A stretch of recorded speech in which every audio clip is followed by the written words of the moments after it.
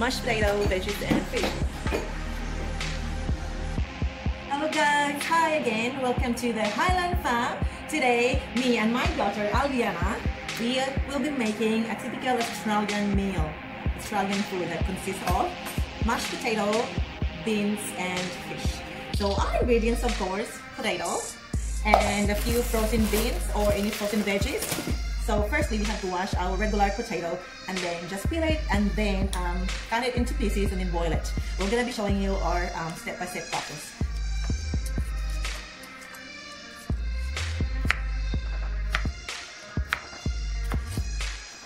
And bring the chopped potatoes into boiling water and leave for 10 minutes.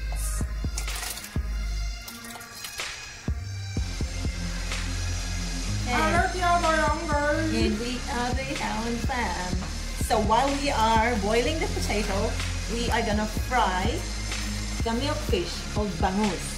Okay, because we ran out of salmon fish.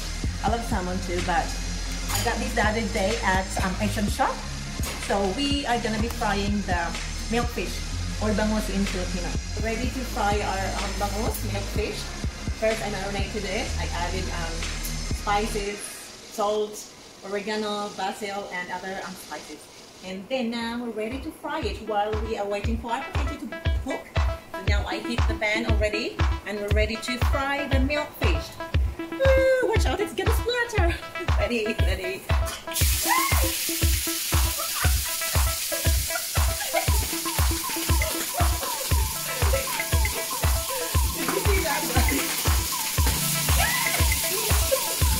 I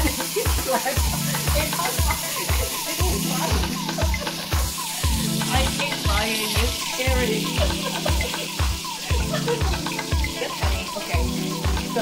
We will check our bangus. See if it's already ready. Looks like we still need to wait for a few minutes. It's not cooked yet, so we leave it for extra few minutes. It's cooking nicely. Looks like it's getting ready and it's about to to be cooked. But before we are going to remove that, we have to also steam our frozen veggies because they're frozen. So before I remove the boiled potato, we just have to put steam it for like two minutes. I was cooking here, save time, save um, water from boiling. Just put the green peas and frozen veggies, and there you go, two in one. And that's it.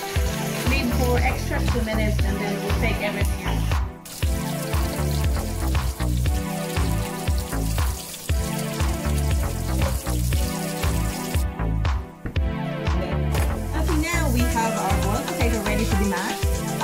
Ingredients to make a beautiful, smooth mashed potato are the following. Butter. For us, we use Nuttelex because it's healthy.